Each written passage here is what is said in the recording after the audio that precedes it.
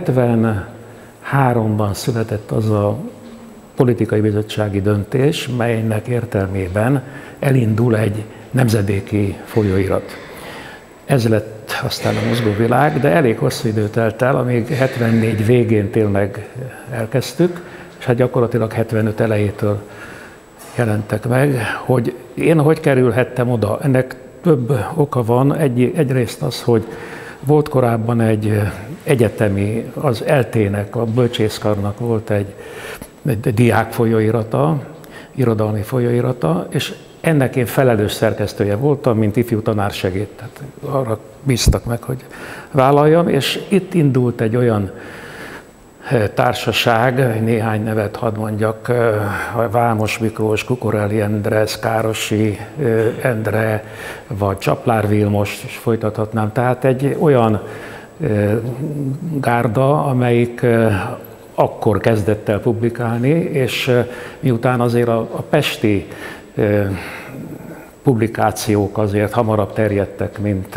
a vidékiek, ezért kerestek vidéki egyetemekről is, hogy közöljünk lapokat. Tehát én gyakorlatilag belecsöppentem, akaratomtól függetlenül belecsöppentem egy ilyen, ilyen nemzedéki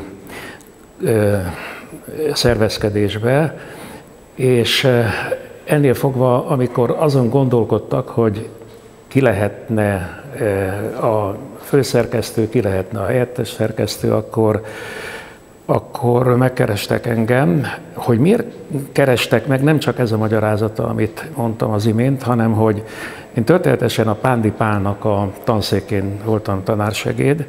Pándi Pál abban az időben, hát a magyar sajtópolitikának és kultúrpolitikának egy sokak által rettegett, és sokak által meg, meg nagyon dicsért figurája volt. Népszabadság, kritikai volt szerkesztette, a Kritika című folyamatot szerkesztette, stb. És nyilvánvaló úgy gondolták Acél Györgyék, hogy, hogy hát aki ilyen helyről jön, az, az megbízható elvtárs kell, hogy legyen.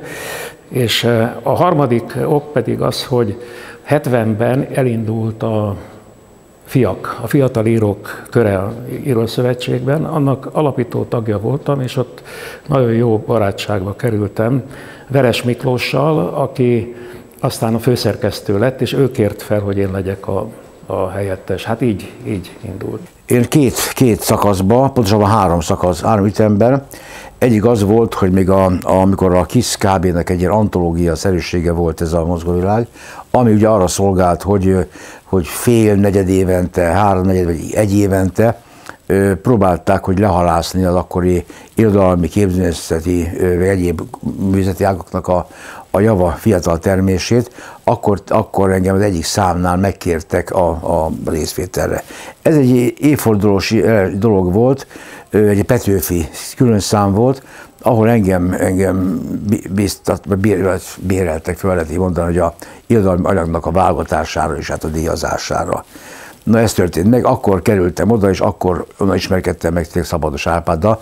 Megjegyzem, hogy aztán a többi akkori szerkesztők aztán eltűntek a lapnak a létrehozása körül, és aztán 75 tájékán, 75 végén indult meg az újság, ha emlékeztem nem csal, és aztán kés, utána a következő évben ilyen, ilyen olyan kritikákat írtam oda, meg hát egyáltalán egy akkori, akkori fiatal irodalmi világ, ugye hát ilyen 30 éves emberek világa ez, egy bar, nagyon egy, egy, egy összetartó, nagyon, szer, nagyon a szervezés nélkül is szerveződő valami társaság volt. Tehát mindenki mindenkit ismert, mindenki mindenki jóba volt.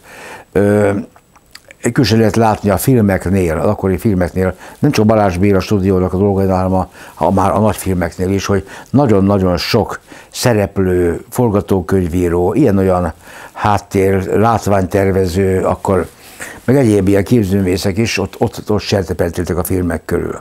Ez döbbentesen jó élmény volt, hogy mindenki jelen volt a, így a, a mozgóvilág környékén is, tehát a, és egyik, egyik az ilyen, ilyen, ilyen irodalom már rész, ilyen bedolgozója voltam a lapnak, amíg aztán ö, talán 78-os az átot meg nem, meg, nem, meg nem esküszöm rá, 78 tájékán akkor, akkor ö, a Kulin Ferenc barátom és, és komám, keresztkomám, akkor elment a más állást, más, másba fogott, vagy dologba fogott, és akkor engem kértek meg, hogy a Veres Miklós főszerkesztőnek a helyetteseként működjem. És aztán ment ilyen-olyan módon a, a, a későbbiek során 83-ig.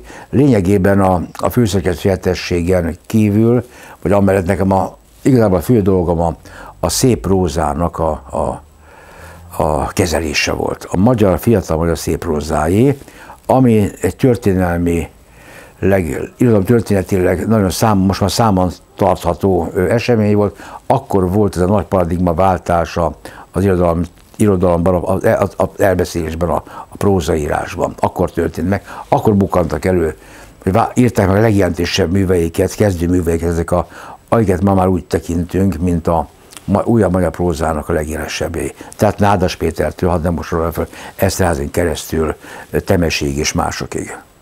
Nagyon meglepődtem azon, hogy oda kerülhettem. Tudnélik, éppen akkor nekem nem volt állásom,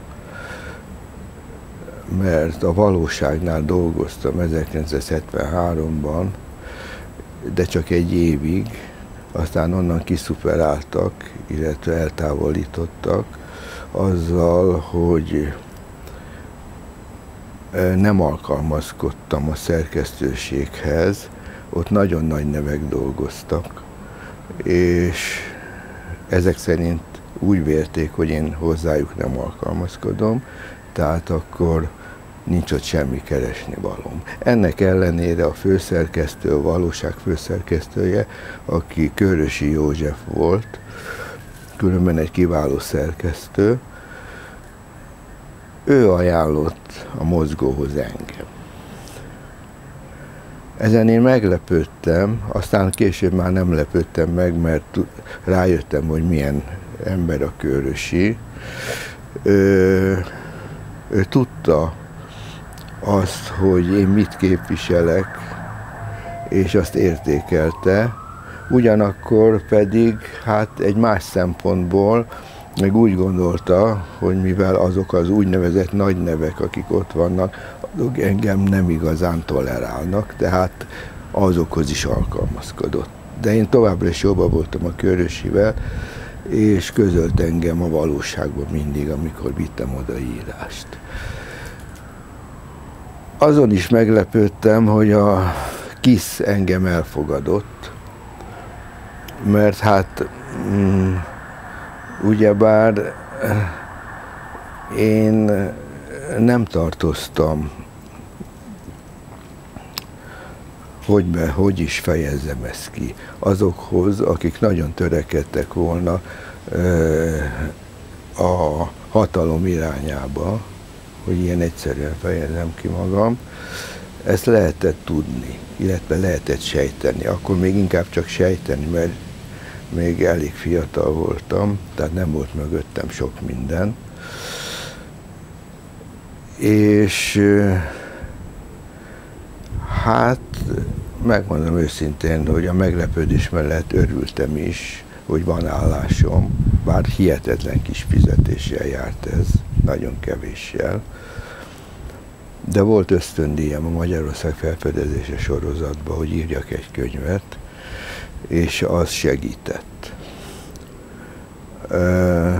A könyv az különben 76-ban meg is jelent a világváros határában.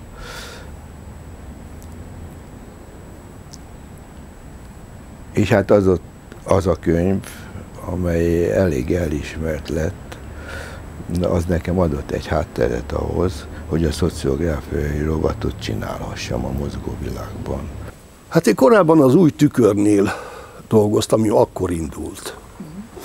Ez, ez egy úgynevezett reform lap volt, ami hát egy új Hát mindig, akkor mindig volt reform, új, új mechanizmus, szóval mindig voltak ilyen új dolgok, amikben most aztán ki fogjuk cserélni még a levegőt is az országban, úgyhogy, úgyhogy nem kell elkeseredni, és nem kell sírni amiatt, hogy a dolgok rosszul mennek. Na és akkor én ott dolgoztam, és hát elég érdekes, sokat tanultam ottan. E, és akkor megkeresett a Kulin meg az Alexa, hogy elmennék-e a mozgóhoz. Ez 70 már? 8-ba vagy 9-ben. De nem, nem. A, ö, ekkor még a Veres Miklós volt. A Veres és az, a, Veres és a, a, a, az Alexa, és ekkor még ők Szóval ők, ők hívtak oda engem. Azért akkoriban volt egy elég heveny irodalmi élet. Ennek a mozgó ügynek azért volna érdemes az elejéről is beszélni, a nem létező részéről is beszélni, mert volt a Lila Füredi találkozó.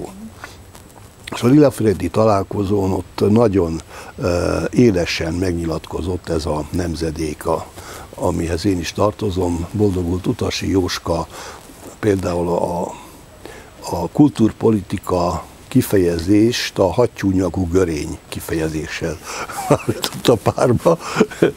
Szóval rendkívül élesen támadtuk a, a, az asztalnál ülő fő elvtársakat, akik, akik próbálták ezt a nagyon hirtelen föltört ifjú tehetséges tehetségeket próbálták valahogy kordában tartani. És írószövetségbe tartottak tanácskozásokat. Most a Lila Firednek az lett az eredménye, hogy lettek ilyen tanácskozások az írószövetségben, és akkor elkezdődött egy beszélgetés a legfőbb követelésről, a folyóiratról.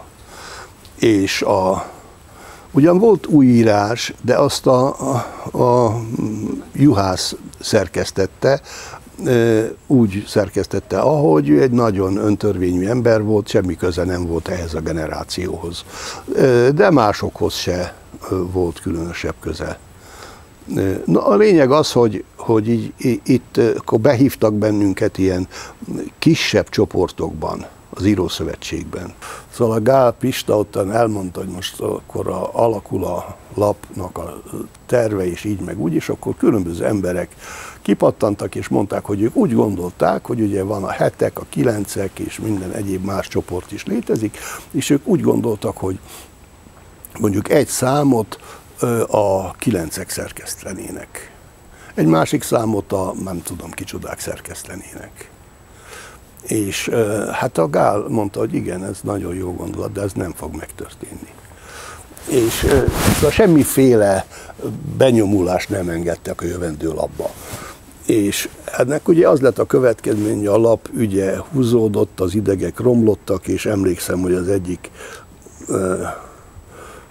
pályatárs, ha jól emlékszem, Döbrentei Kornél egyszer sírva rohant ki, mert már háromszor mondtál, na de hát ez nekünk készül a lap, mi nem csinálhatjuk mi magunk? És akkor könnyek törtek ki belőle. Ami hát ugye ma abszurdumnak tűnik föl előttünk, minden normális ember előtt. De hát akkor ez az abszurd volt a normális. És hát ez, ez így ment, hogy nem engedték, hogy a lapnak egy részét szerkessze, vagy egyik számot szerkessze, egy bizonyos irányultságú. Ezek esztétikai irányultságok voltak, szóval nem politikai irányultságok voltak. Na és akkor végül engedélyeztek egy ilyen ö, két ö, ilyen akkalmi periódikát, aminek nem volt semmi, annak már mozgóvilág volt a címe.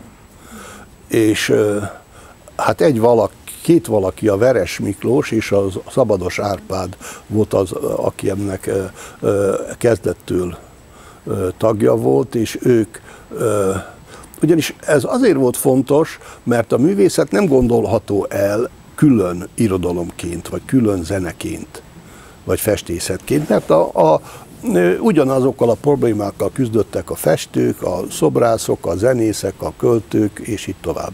Tehát az összes művészeti szakma ugyanazzal. És ez összeterelte ezt a társaságot.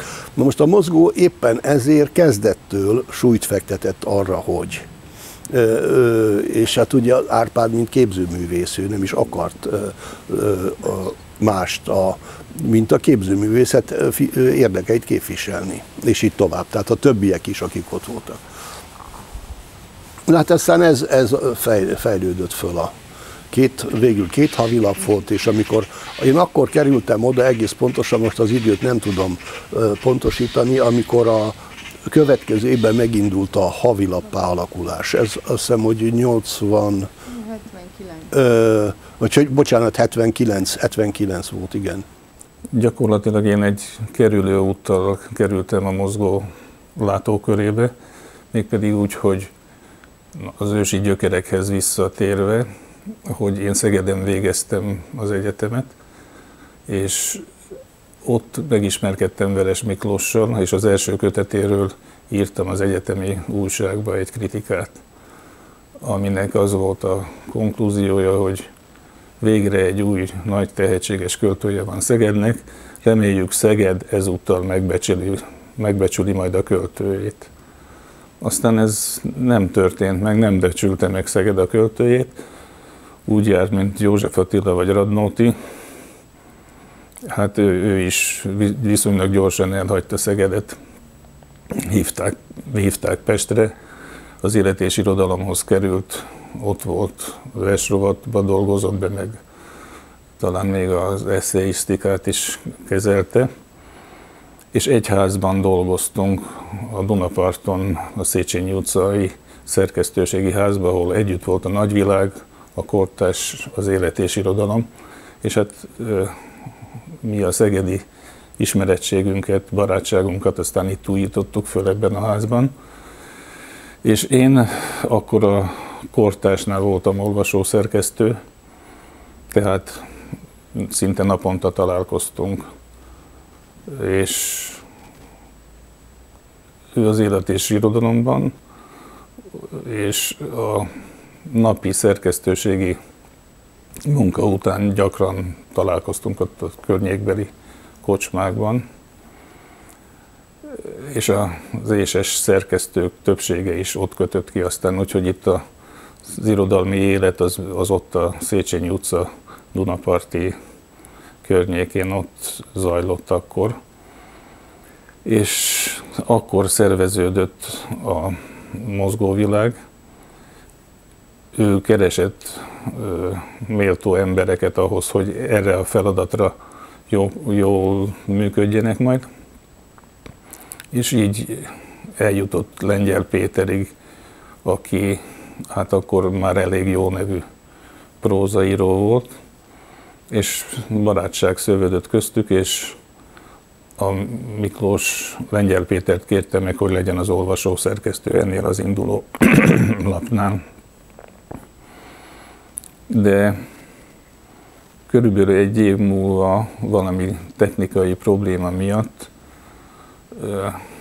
és azért is, mert Lenyen Péter azt mondta, hogy az ő írói működéséhez ez túlságosan sok elfoglaltságot jelent, tehát inkább elköszönne a Miklóstól, aki ott volt bajban, hogy már megvolt neki a szerkesztőség, már induló félben volt a lap, és az első számot még a Lengyel Péter, bár ugye a kolofonban nincs a szerkesztők neve felsorolva, hogy ki volt az aktuális szerkesztő, azt éppen a Veres Miklós számhoz írt bevezető szerkesztői, főszerkesztői szavaiból tudjuk meg. Tehát Lengyel Péter és Veres Miklós útja elvált, és Hát ez nekünk napi téma volt ott a szerkesztőségek házában, úgyhogy Miklós szólt nekem, hogy nem mennék-e oda. Nekem éppen ez idő tájt volt elég sok problémám Kovács Sándor Ivánnal, aki a kortás szerkesztője volt, főszerkesztője volt akkor, akit szintén Szegedről hoztak fel, a párt hozta fel, és ez a Kovács Sándor Iván felhozott engem, mint volt tanítványát. Szegeden régi magyar irodalomból tanított, és felhozott, mint volt tanítványát, mert egy bizalmi emberre volt neki szüksége, aki, akiről egyrészt tudta, hogy a helyes írást valamennyire ismeri, másrészt meg legyen valaki az ő köreiből, mint megbízható tanítvány és hát egyébként is jó kap, emberi kapcsolatban voltunk. Sokat tanultam tőle, mint tanárként, mint szerkesztő, egyaránt meghatározója volt az életemnek, de problémák voltak közöttünk, megromlott a viszonyunk, és úgy volt, hogy elmegyek a kortástól. Igen, de ugyanaz nap, amikor megírtam a fölmondó levelemet, ugyanakkor megkeresett Kéri László, aki akkor a nagyvilág főszerkesztője volt, hogy éppen olvasó szerkesztőre van szüksége, és milyen jó, hogy itt egy folyoson vagyunk, és csak át kell mennem a másik szobába, és ott folytathatom az olvasó szerkesztői munkát. Tehát rettenetesen örültem, hogy, hogy Kéri László meg, meglátta bennem az ő leendő munkatársát még aznap, amikor fölmondtam. És két-három hónapot ott dolgoztam, amikor Miklós szólt nekem, hogy hát Lengyel Péter távoztával neki nagyon nagy szükség lenne egy olvasószerkesztőre. Hát én kész örömmel elfogadtam ezt, mert jól éreztem magam ugyan a nagyvilágnál, de valahogy ez nem az én világom volt. Sokkal idősebb korosztály volt, mint amit én a kortásnál megszoktam. Ott, ott azért voltak fiatalok itt a nagyvilágnál, szinte alig volt, a Csudai Csaba volt az egyetlen ilyen fiatalabb szerkesztő. És, és azonnal igent mondtam mindenféle tétova gondolkodás és bármiféle fontolgatás nélkül azonnal igent mondtam Miklósnak. Egyrészt, mert a költő, költő volt, tehát nagyon sokra tartottam a tehetségét, sokra tartottam, és, és és egész életemben, és Miklós egész eddigi költészetében végig azt éreztem, hogy egy jó költő, és érdemes vele együtt munkálkodni. És akkor ott által minden ilyen, ilyen szerződést vissza, küldtem, visszabontam, és nem volt munkám. És egy évet kellett kivárni, hogy újra lehessen pályázni. Nem, nem kereshetett az ember magának munkát.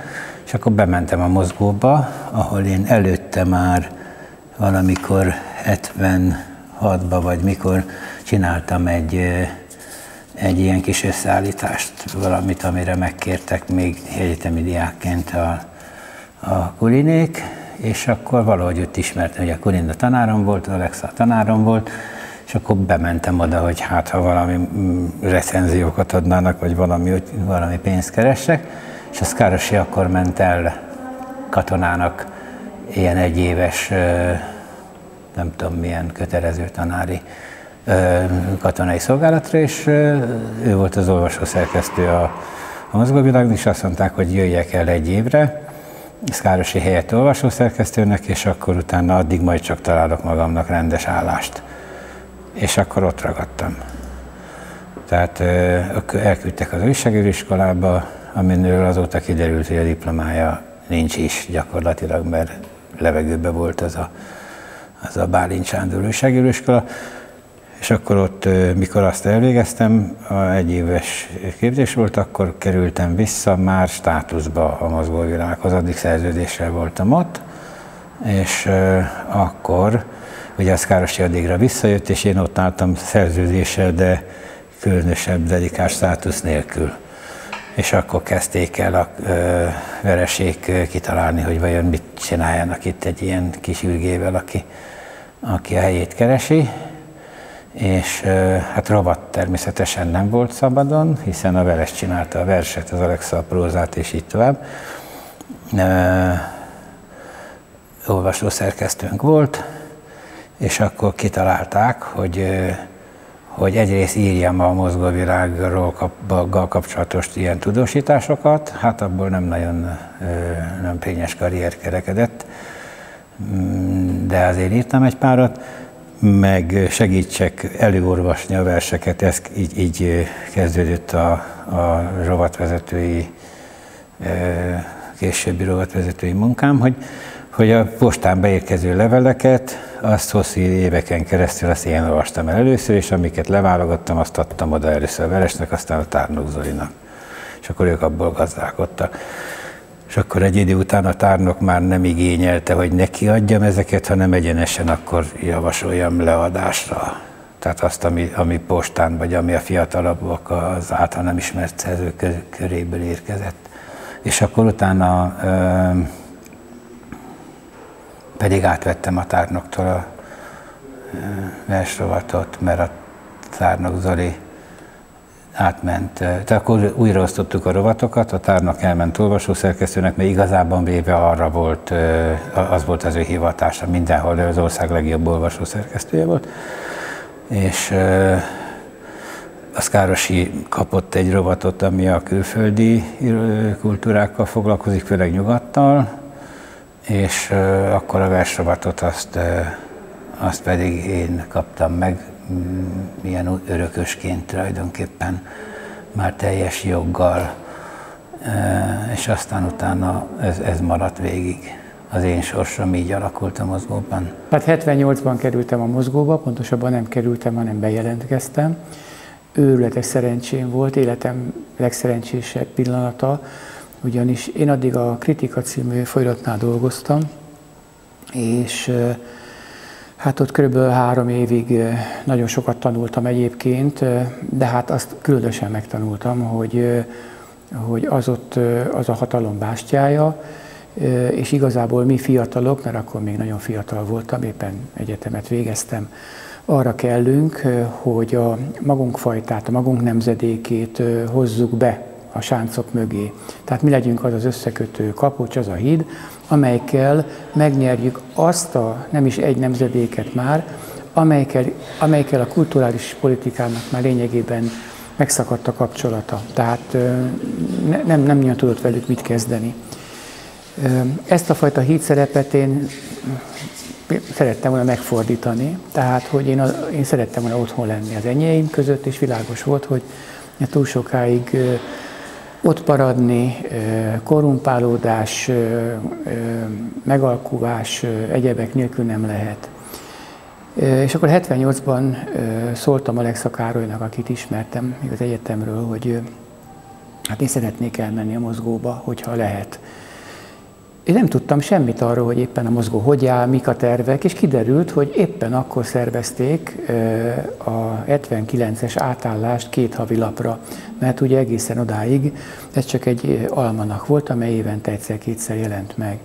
Egy gyorsan hozzá is teszem, hogy milyen jellemző az akkori kultúrpolitika lassúságára és kényszerű retardációjára az, hogy, het, hogy volt 69-ben egy határozat, mégpedig pártközponti határozat, hogy már pedig a fiataloknak külön lapot kell adni. Na most ez is jellemző volt, hogy a fiataloknak. Hát ugye fiatal volt akkor 20-tól 40-ig mindenki, vagy mondjuk vegyük a kiszkorhatárt, akkor 35. Az, hogy esetleg ízlésirányzatok vannak, hogy különböző szellemi áramlatok vannak. És hogy nem is egy nemzedék van, hanem már legalább három, az igazából nem merült föl, adunk egy lapot nekik. Ez szinte lehetetlen helyzet elé állította a mozgót, amelyik először csak ugye öt éven keresztül nem is lapként jelent meg. Ez igazából egy, olyan volt, mint egy antológia. Antológiával akkor meg Dunát lehetett rekeszteni. Tehát akkor volt 21 mai költő, 12 mai író. Ez is nagy dolog volt, hogy lehetett jelentkezni kötet formájában, de önálló kötethez jutni nagyon nehéz volt, önálló laphoz pedig lám még, még nehezebb. És akkor 78-ban volt egy újabb határozat, hogy 79. januárjától megindul a mozgó, de akkor is csak két havonta. Tehát az óvatosságnak azért van határa. És 78-ban kezdték átszervezni a szerkesztőséget ebben a szellemben, és én pont akkor jelentkeztem, és Veres Miklóssal, Alexával ültünk le ott egy közeli kávéházban, és a, a Böszörményi úton. Azóta ott újra kávéház van, de azóta volt az már mindenféle. Notabene egyébként ott kellett találkozni a Veres Miklós főszerkesztőnknek rendszeresen a belügyi összekötővel mert hogy hát ugye nem csak besugó rendszer volt, ezt sose felejtsük el, hanem, hanem kötelező beszámoltatás is, ami elvileg titkos volt, tehát tulajdonképpen a főszerkesztőnk nem is lett volna szabad arról beszámolnia. Nos, ezen a szent helyen ö, bólintottak rá, és így kerültem oda a rovatvezetőnek, egy eléggé vegyes rovat élére, amivel színház, film egyaránt volt, meg még nem is tudom még micsoda, de, de a legfontosabb nekem az volt, hogy végre otthon vagyok. Nagyon jellemző volt az akkori helyzetre már, amit egy paródiában is később megfogalmaztunk Tarján barátommal, hogy miközben készült a két havi lap, vagy legalábbis az előkészületei, addig is folyamatosan voltak a kisebb-nagyobb botrányok a kiszen belül, minden egyes lapszám után. És ezért miközben át akart állni a lap két hónap havi megjelenésre, nagyon gyakran úgy tűnt, hogy nem is, egyáltalán meg is szűnik. Tehát nem bővíteni fogják, hanem, hanem megszűnik. A paródia az úgy szólt, hogy hírek, jelentjük, hogy a mozgó világ áprilistól megnövekedett példányszámban, megnövekedett terjedelemben megszűnik. És a, ez egyébként nem is volt olyan vicces, attól a taktikától függött ez, meg éppen az acél és az úgynevezett reformszány helyzetétől, meg a kiszen belül is volt egy ilyen reformszány, azért ezt látnunk kell, az sem volt egy teljesen egységes gárda, hogy, hogy éppen mire játszottak rá, hogy ezek a fiatalok, akiknek a, a művészeti alkotásai nagyobb részt már befogadhatatlanok az úgynevezett szocialista realizmus keretei közé, ezeket tegyük ebbe egy gettóba, egy rezervátumba, és akkor kis példányszám, kis ismertség, de azért vannak, vagy ellenkezőleg megpróbáljuk őket mégis tömegesíteni, és a tömegkultúra részévé tenni. Tehát a példányszám vagy 300 vagy 10 ezer és ez időnként egészen élesen tudott egymással konvergálni. Nos, végül is a több ezer példány mellett döntöttek, és akkor 79-ben elindult a, a két havi lap, és hát olyan emberekkel találtam magam együtt, akik hát majd itt most mind megszólalnak előttem, utána óriási élmény volt. Először éreztem azt életemben, bár hát igazából nagy múltam még nem volt, de azért a kritika révén elég sok tapasztalatra szertettem, elég sok szerkesztőséget, főszerkesztőt megismertem, publikáltam, és itt-ott, ha nem is túl sokat, inkább szerkesztő alkat vagyok, hogy, hogy a lapok valóban nem autonóm szerkesztőségek, amit mindig később meg is kaptunk a pofánkba, hogy, hogy hát mit akarunk mi, minket a párt, az állam, a ifjúsági lapkiadó vagy a lapkiadó ad ki, mi nem rendelkezünk a lap fölött. Mi azt tesszük, amit kell. És az mindig kifelejtődött a szempontok közül, hogy az olvasóknak is tartozunk. És az olvasók, mint a visszaigazolásokból látszott, nagyon-nagyon igényt tartottak erre, amit mi csináltunk. Tehát, hogy egyfajta autonómiára volt szükség ahhoz, hogy az olvasók érdekeit, most a szerzőkről nem is beszélek, képviseljük a tulajdonosokkal szemben, akik egyébként azt a lehetőséget nem adták volna meg, hogy hát, hogyha nem ők a tulajdonosok, akkor lehetne más is. Ugye ez föl sem merült volna. Tehát magánalapítású lap nem volt. Megint csak zárójelbe teszem, hogy, és a közvélemény erről elég keveset tud, Épp a Petőfi Irodalmi Múzeumban volt egyszer egy háromnapos rendezvény, amelyet ennek szenteltek, az nagyon-nagyon fontos volt és jól sikerült. A 60-as, 70-es évek lapkezdeményei eltiport, betiltott, gyakorlatilag a küszöbig eljutott, vagy a küszöbig el sem jutott kezdeményezések rengeteg volt. Nem véletlen, hiszen egymásra halmozódtak már a nemzedékek, ehelyett volt egyetlen egy lap a mozgóvilág. Ennek a, a szerkesztése egyfelől ö, örömmámor volt, hiszen egyszerűen dőltek hozzánk a, a jobbnál jobb anyagok, másfelől iszonyatos konfliktusokat és feszültséget okozott bennünk magunkban, mert ki marad ki, miért marad ki, most melyik az a sáv, amelynek a képviselői úgy gondolják, hogy akkor ők már nem férnek bele. De egy folyamatos belső kultúrpolitizálást is jelentett ellentétben azzal a pártközponti hiedelemmel, hogy mi csak olyan postabontók vagyunk. Állandóan ezt kaptuk a képünkbe, ezt is, hogy ott valódi szerkesztés nem folyik, postabontár, amiben beérkezik, azt mi betesszük, szó sincs róla, nem is tehettük volna meg, de amit betettünk volna, akkor az, az minden hónapban legalább 5-600 oldal terjedelem lett volna, pedig jó minőségű anyagok. Ez egyébként azért is alakult így, mert az egyetlen olyan lap volt az országban, amelyik összművészeti volt. Ez is jellemző. Ugye a fiatalok kapták, tehát itt minden volt. Irodalom, képzőművészet, később Kocsis Zoltán révén jelentősebb zenei rovat, szociográfia teljesen külön, az addig kizárólag a, a Hatvari Dani féle forrásban volt ilyen, hogy, hogy valamelyik lap a szociográfiára szakosodjon. Nálunk ennek nagy jelentősége volt. És hát persze az értekező próza, és akkor ehhez jött még a politológia, a történelem. Tehát gyakorlatilag nem csak a művészeti, hanem a szellemi élet minden szegmenséből kaptunk kéziratokat, és ami ennél fontosabb, kaptunk szerzőket.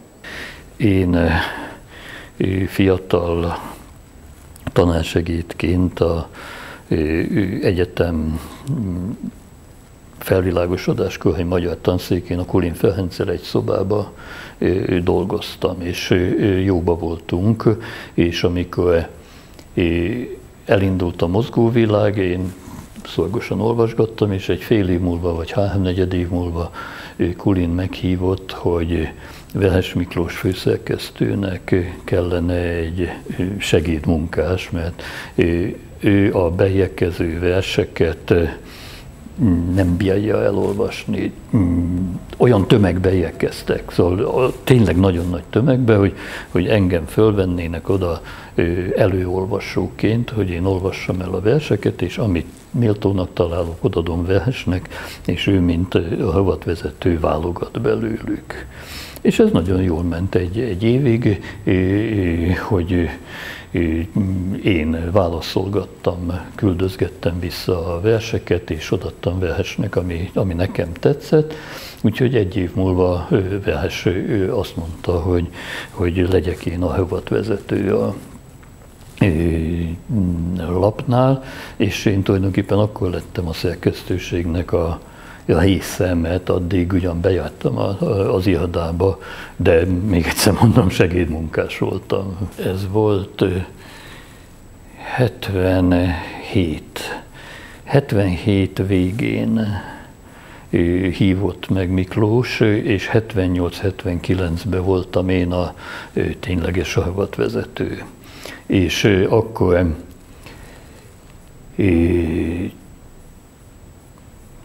ezt nem lehet megkerülni, akkor egy csomó konfliktus támadt Vehes Miklóssal, mert amikor ő engem alkalmazott, akkor velem nagyon meg volt elégedve, mint előkészítő segédmunkással, de nem tisztáztuk egymással az ízlés viszonyainkat. És én, mint havatvezető, más költőket preferáltam volna, mint akiket ő, ő preferált, már a minőségi szinten felül, és ebből több konfliktus támadt, hogy akiket ő odahozott az első évekbe, azokat én nem szorgalmaztam, hoztam volna másokat, és ezen összeütköztünk annyira, hogy ő, ő 79 végén engem kihugott kihugott, úgyhogy én nekem két évbe, két év havatvezetői munkám feküdt a, a labba, és emiatt én a szerkesztőség legnagyobb politikai harcainak idején nem voltam tagja a szerkesztőségnek, csak hát jóba voltam a többiekkel. Ugyanis az történt, hogy amikor Vehes Miklós után Kulin felhívette át a lapnak a vezetését, ő is és a szerkesztőség többi tagja is mm, vélhetőleg úgy érezték, hogy ez az én kihallgatásom nem volt egy teljesen jól sikerült dolog, és engem akkor Kulin fölkért arra, hogy legyek a lapnak a havi kritikusa. És ez egy nagy megtiszteltetés volt számomra, másrészt pedig nagyon érződött benne egy kis ilyen jóvátételi aktus, mert addig én nekem tényleges kritikusi gyakorlatom, vagy pláne ilyen nevem nem volt. De akkor én megkaptam ezt a tényleg kivételes lehetőséget, hogy az akkor nagyon nagy népszerűséggel rendelkező mozgóban 18 vagy 20 hónapig minden hónapban megjelenhettem. És úgyhogy én mm, nagyon megköszönöm a mm, Vehes Miklósnak, hogy kihagott, és Kulin Fejnek, hogy visszahívott, mert, mert tulajdonképpen akkor indult be az én kritikusi pályafutásom. Úgyhogy én a, a lapnak az egyik mm, leggyakrabban közült belső munkatársa voltam a 80-as évek, 80-81-82-ben, de nem voltam a szerkesztőségnek olyan értelemben tagja, hogy amikor döntéseket kellett hozni, politikai viták voltak, akkor én abba természetesen nem vettem részt. És akkor 83 tavaszán Kulin ismét fölkért, hogy lennék én a, akkor már a kritika a vezetője, és akkor az utolsó fél évben már megint tagja lettem a szerkesztőségnek, de hát ez már fél év volt csupán, mert ősszel, ősszel a lap már már, már, már komoly tervezéssel nem tudott foglalkozni, hanem hát a utolsó óháit élte, illetve hát vívta a harcot az utolsó számok megjelenéséért, ami hát ugye ismerhetes, hogy a legutolsó szám az nem is tudott megjelenni. Nem is szerkesztőként kerültem először a mozgóvilághoz, hanem szerzőként. Számomra nagyon jó időben indult a mozgóvilág, mint akkor két havilap, 75 decemberében. Körülbelül valahol a költői érésem éveiben voltam, próbáltam publikálni itt-ott, nem nagy sikerekkel, hát ahogy minden költő, minden írni vágyó ember elkezdi, és hát nagyon vártam azt a lehetőséget, hogy már valahol rendesen megszólalni.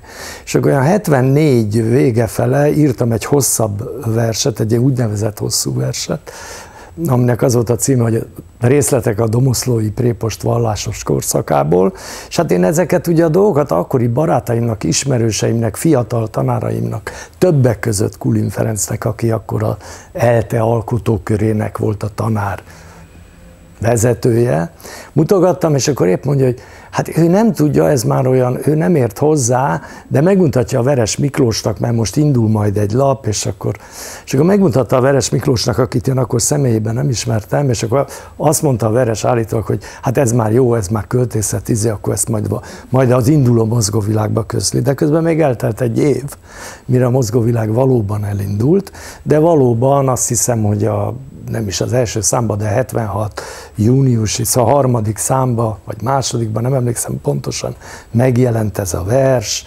figyelmet keltett, mit tudom én, tehát bekerültem, mint költőbe, induló mozgóvilágba, akkor én még egyetemista voltam, és ugye a, úgy, ne, de én már egy másodlagos generáció voltam, mert a 60-as évek közepe óta, 60-as évek vége óta inkább nagy volt a nyomás új és új írók jelentkeztek, más szemlélettel, ugye, 60-as évek végétől.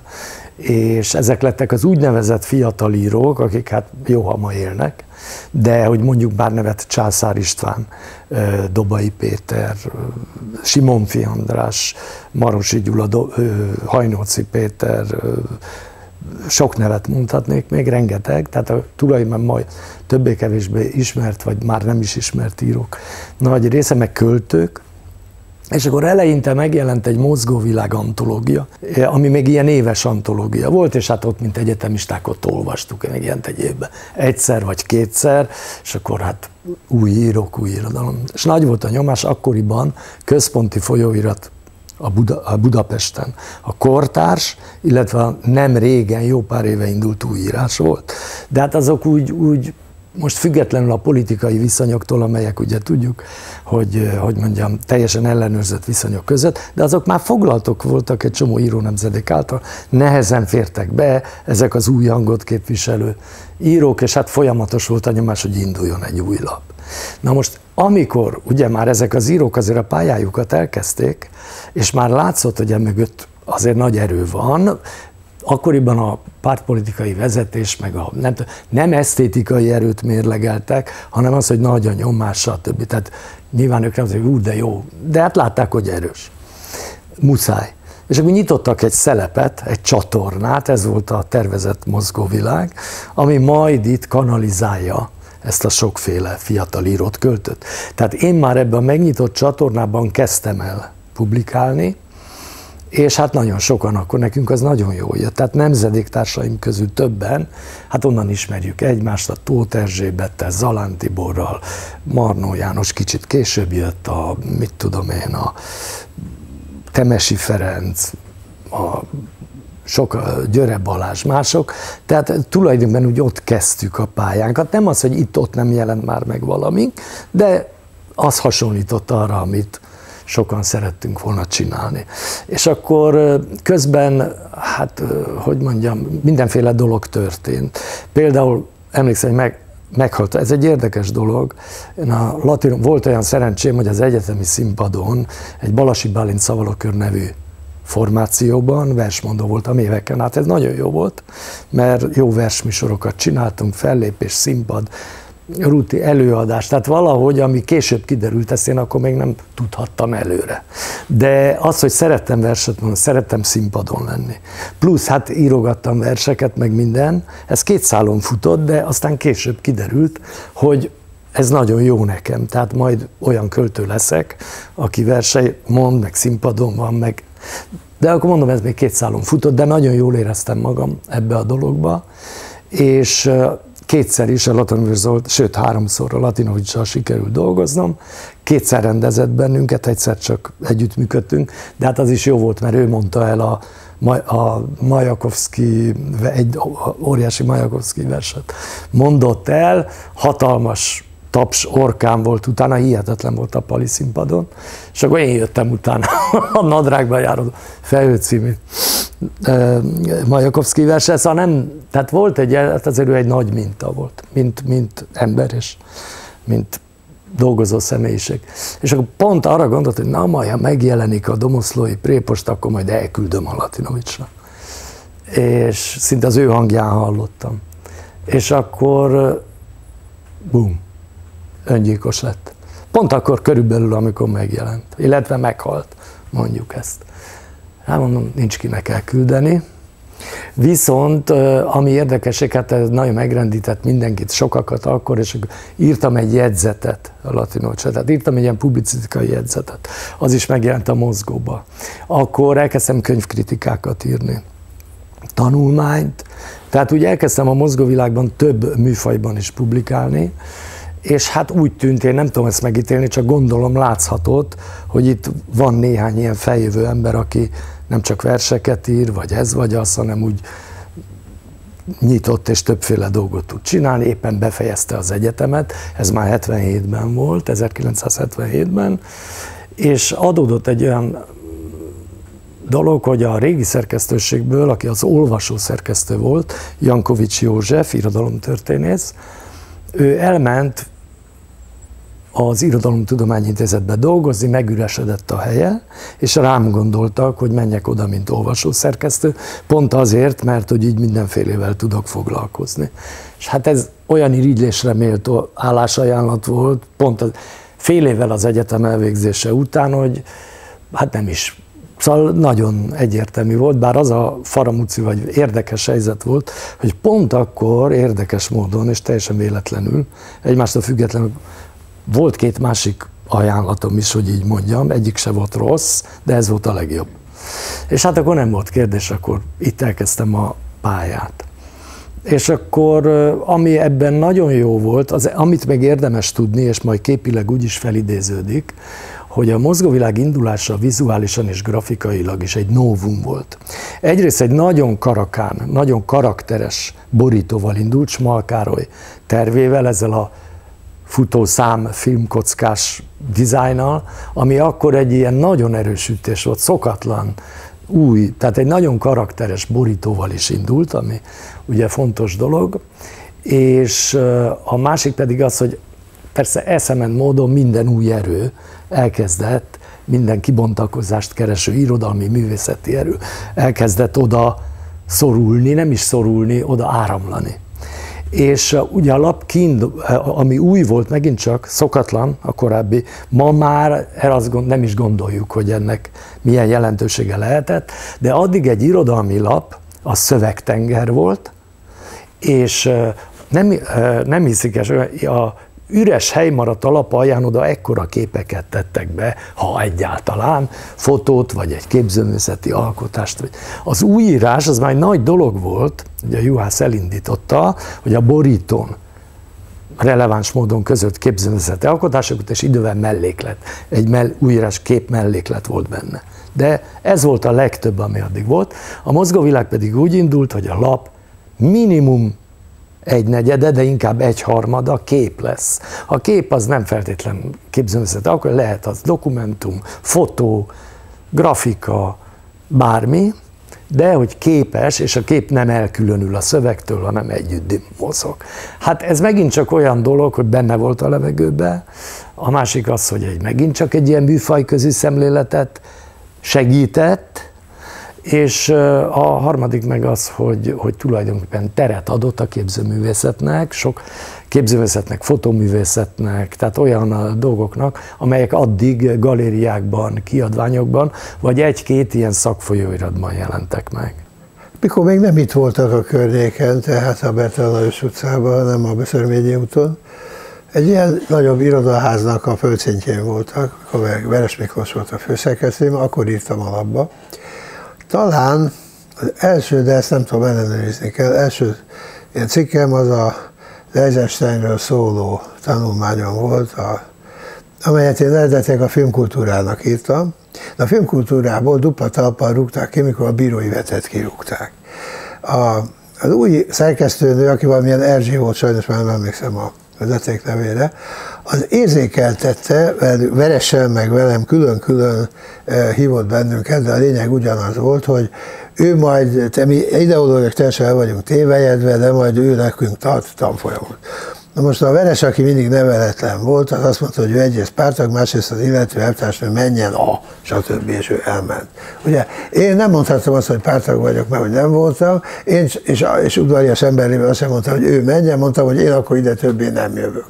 Úgyhogy a filmkultúra ez egyszer mindenkorra meg lett oldva, pedig a, amikor az egész sziket azért írtam egyébként, mert volt egy kívánságuk, az első, amit én oda írtam, az megjelent, az a Kardosnak a Petőfi 73 című filmjéről volt, akkor nagyon megörültek nekem, mint majom a farkának, hogy hát akkor én alkalmas vagyok ilyen film izék írására. Hát egyébként jó barátom volt a néhány rendező, meg efféle, úgyhogy Balázs Béla stúdióban rendszeresen járkáltam, és egy ideig a Hankis jó voltából a sorozat dramaturg voltam a Pannonia rajzfilm stúdióba, vagy animációs stúdióba, ami ki nem rúgott a Matolcsi elvtárs, nem a mostani Matolcsi elvtárs, hanem az ő édesapja, akit szintén így hívtak, mint őt, tehát a keresztnév is azonos. Amikor aláírtam a cseh kartát, akkor nyájasan megköszönte, pedig még lesadtam az aheti kritikát. Hát mondom, mit köszönsz, hát még most javítom a, az ékezeteket. Hát azt mondja, nem ezt, az egész munkádat. Nem mondta neked még senki, hogy ki vagy rúgva. Mondtam, attól csertárs, és többé nem láttam. Aminek nagyon örülök egyébként.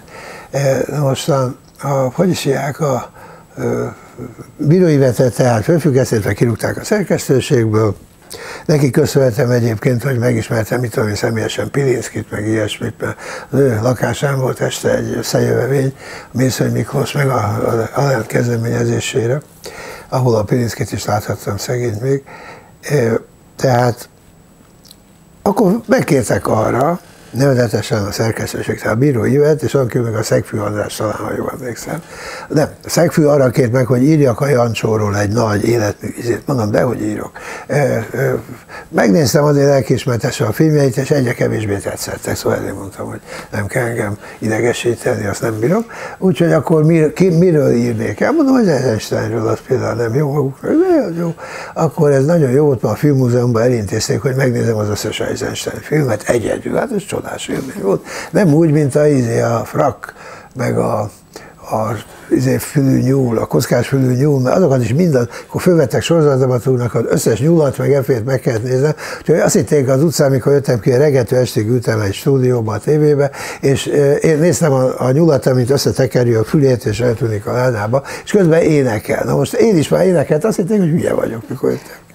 Na, úgyhogy ezesen ennél jobb, jobb volt, mint a kockás fölötti úgyhogy mindegyiket megnéztem, és akkor írtam egy Eisenstein tanulmányt, aminek, ami nekem nagyon tetszett, ugye, mert hogy is hívják, sikerült rekonstruálnom, ugyanis közben a lányom megette a kéziratot, tudnék, ahogy is hívják, nem, nem indigóval csináltam, és a kisebbikat betolt, kimentem kifőzni a, a konyhába, ahol volt egy ilyen gáz, a, izét, ez volt egy albérletben, a feleségem éppen a nagyapja temetésén volt vidéke, úgyhogy a két neveletlen gyermeket azt én ajnároztam, úgyhogy akkor az egyik ordított a bölcsőbe, a másik meg a járókába ébredezett, és akkor, amíg én kimentem kifőzni a pelekát, az alatt megette az Einstein tanulmányt. Úgyhogy legnagyobb csodálkozás része, kurva életben újra meg kellett írnom, örök tanulságot meg, attól kezdve mindig indigóval írok. Na most, na tehát, most már nem. Most már nem. Ki, ki, kidobtak a, a laptól, és akkor én elanyátlanultam, hogy mit csinálok én ezzel az Eisenstein, elvittem a izének, a, a mozgóvilágnak, hát nem hozták, úgyhogy attól kezdve kezdtem őket közelebbről szeretni, ami nem volt csoda, mert egy csomó barátom volt ott, ugye a Gulin Feri az nekem évfolyamtársam volt ráadásul. És aztán átköltöztek ide közel, úgyhogy, úgyhogy ezért, mivel én nagyjából itt töltöttem a életemben 18 éves korom óta, mert az ötös kollégiumban szakkollégista voltam, mert Pesti lakos nem lakó. Aztán ide kerültem, mikor végeztem 68 a mozgó is itt volt, úgyhogy minden egy helyben. És hát kezdtem még a üzleti kollégáimat is néha rábírni. Például az egyik ilyen híresebb izé volt, azt eredetileg ők a Bojtár kezdeményezése írták csak úgy maguktól a Leszterháziról szóló izét, ugye? De most én nekem meg, ők nem, engem nem vettek be ebbe a buliba, mint hülyét, ami beigazuk volt. Én viszont, a, hogy is, mert hogy nekem nincs érzékem az irodalom elmélet, hát mondták ők meg róla, ami biztos így van. A, én meg megállapodtam a kulin, hogy én írok egy ménkű hosszú a izéről, a termelési regényről. Mondták, hogy oké, okay, fölfüggesztenek, mint tudni, azt én még kéziratban is olvastam, mert, mert a gépíró nő a Miládi Zsófi szólt nekem, hogy itt van a gépírónőnél, nem akarom elolvasni, mielőtt visszaadja a Eszterházinak. Vissza, elolvastam, visszaadtam, és megismerkedtem rögtön az Eszterházival, úgyhogy dupla haszon, és akkor rögtön rohantam a kulinhoz, hogy itt van egy korszakalkotó, akkor én erről írok, mondta, hogy amennyit akarok, stb. Akkor jöttek lógóról a gyerekek a bolytár vezetésével, Veres, Lempényi, stb., hogy hát ő, őket kirúgták nagy évben az éstől, vagy nem tudom, betették a lábukat, ezzel. Én mondom, se baj, mondom, én majd testvériesen megosztozom veletek. Ugye, ugye nem értek az irodalomtörténet, viszont itt van a mozgó világ, amiben ők sose, azt se tudták, hogy van itt, de aztán rájöttek, hogy van. Úgyhogy ez is, ez is közelebb hoztam egymáshoz ezeket a izéket. Gárdonyi, mint Duna, két óra, jobb, part, bal part, Ménesi út, Bertalan utca. Hát aztán úgy elkezdtem írni ezt, azt, azt, és akkor volt egy olyan, hogy azt bizonyára meséltem már más is, amikor az Ösztönző Elem című Hajnóci Gábor, vagy Hajnóci Péter szöveg miatt ugye kitört a nagy büdös botrány, a szószoros értelmű büdös, ugye, mert, mert amiről szólt, az elég illatos izé volt. Hát én imádtam a, a Hajnócit, őt is a mozgóvilágnak köszönhetem, itt ismertem meg, de aztán sokszor meglátogattam otthonában is és hát mai napig nem fejtem, amikor 81-ben én egy évig Olaszországban voltam Firenzében, és este tíz körül jött be a Kossuth Rádió, és akkor hallom, hogy meghalt, és temették. Előzőleg februárban beszéltem utoljára, amikor itthon voltam, és tudtam, hogy beteg, és valami olyan gyógyszerben meg is állapodtunk, amit ott kint lehetett kapni, nem, hogy azt majd hozom neki, hát szegénynek már nem küldött. Végülis nem a halt meg, mert ilyen szív izé volt, hanem hát tudjuk egy ilyen későn felismert tudógyulladás, illetve félrekezelt rémség. Na mindegy, a, tehát kitört a bot, és ahogy is hívják ott a főszerkesztőt, Veres Miklóst kirúgták. A Hagyosiák pedig az megunta az életét, a kulin, és vissza akart vonulni a szerkesztéstől. Ugye mindenek van határos, stb. stb. És akkor, akkor a szerkesztőség tudta azt, hogy én ellenáltatlan hatása vagyok, akkor lukat beszélek hasába, stb. stb. Tehát, hogy én akkor menjek el és győzzem meg, és meggyőztem. Meg én egy egész éjszaka ordibáltunk kacsás egymással, és sikerült. Az első három évben, vagy sőt, nem is három évben, mert öt évben a KISZ Központi Bizottságának a lapjaként működtünk, és hát a KISZ KB-nak hát meglehetősen értetlen és kötözködő főnökei voltak, és minden szám után volt valami balhé.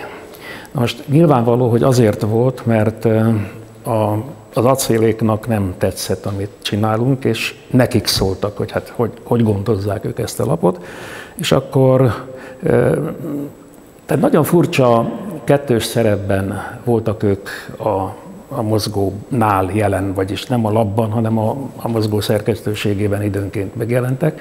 Egyfelől szerették volna elhitetni magukról is, meg, meg rólunk is, hogy, hogy mi vagyunk a, a, Kommunista Ifjúsági Szövetség kulturális politikájának az ászlóvivői, és hogy úgy de klassz ez is, ezre nagyon büszkék.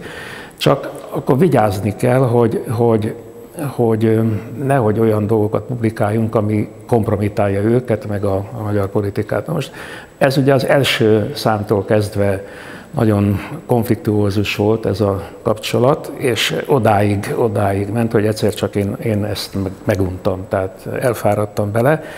Kezdettől kezdve volt persze egy, egy lelkiismeret furdalásom, hogy annyi időt elvett, meg erőt elvett ez a lapszerkesztés, hogy a szakmai munkára nem. Oráimat megtartottam, de azért, ha az ember irodalom történészként nem a, a fiatal kori éveiben hajt rá a, a szakmára, akkor aztán később már, már nehéz dolog. Tehát úgy döntöttem, hogy visszamegyek a, a szakmába, és reformkori 18-19. századi e, irodalom, magyar irodalommal foglalkoztam, és azt hittem, hogy akkor mostantól kezdve nyugdíjig én azt fogom csinálni, de hát e, nem így történt, mert e, következő évben történt a a nagy botrány, aminek következtében Veres Miklóst lemondatták, és elrendelték, hogy új felállásban, új helyen, új szellemiségben szervez, szerveződjék a lap, és akkor kerestek meg engem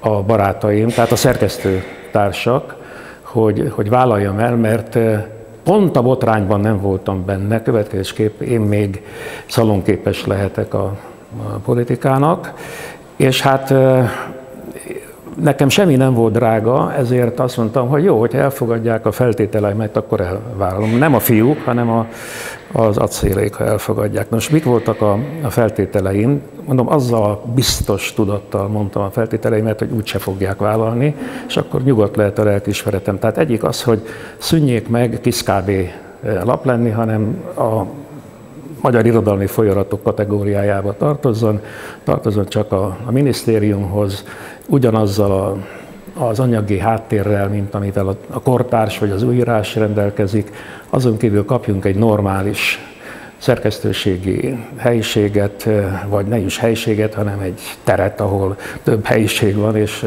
tudjuk fogadni a szerzőket, meg hát végül is sok rovat volt, és sok asztal, meg, meg írógép kellett. Tehát a anyagi természetű feltételeim voltak az első helyen.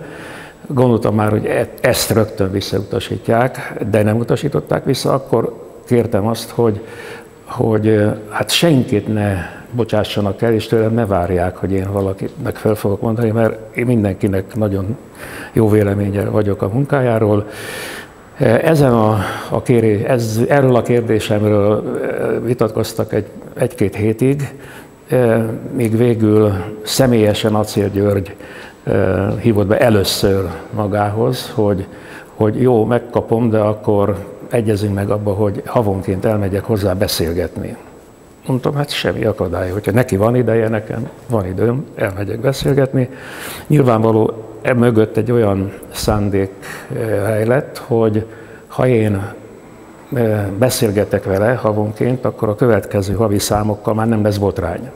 Na most így történt, gyakorlatilag folytatódott a, a mozgós balhék sorozata, és nem mondom, hogy minden hónapban, de majdnem minden hónapban nem csak akkor kellett mennem, amikor, amikor kötetlenül beszélgettünk, hanem amikor ilyen ilyen procedúrák voltak, mert ugye volt egy olyan hálózata a kultúrpolitikának, amelyik minden magyar újságnak, folyóiratnak minden cikkét nem csak, hogy, hogy nagyjából olvasták, hanem szoros olvasással aláhúzogatták a kifogásolható mondatokat, meg kifogásolható szavakat, egy példát ad mondjak itt mindjárt, mulatságos ma már, sokszor elmondtuk, hogy például a szegény szó és a szegénység szót nem lehetett leírni, mert ez, ez, ez, ez árt a magyar politika tekintélyének. Hát hogyha ha mégis akarunk foglalkozni a szociálisan hátrányos helyzetű emberekkel, akkor, akkor mondjuk ezt így, hogy, hogy a hátrányos helyzetűekkel. És akkor írta Cakó ezt a